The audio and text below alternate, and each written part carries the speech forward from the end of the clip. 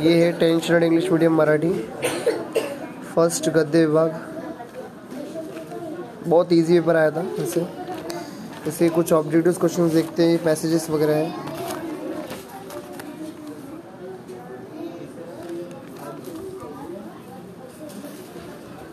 इसके आंसर्स वगैरह के लिए आप मेंशन कीजिए आप मुझे।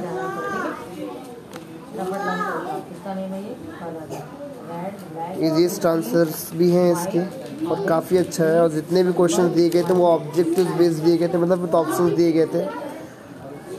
ठीक है, इसके आंसर्स की एक फ़ाइल में तैयार कर रहा हूँ मैं that I will provide in a short video again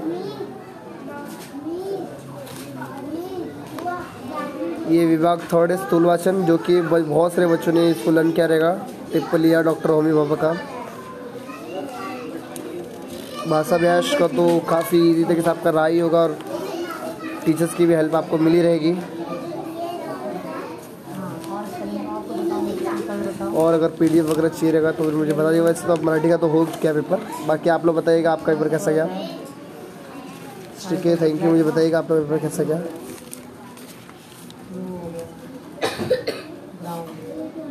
लिखन कौशल ये और ये आत्मकथन और वैचारिक। Thank you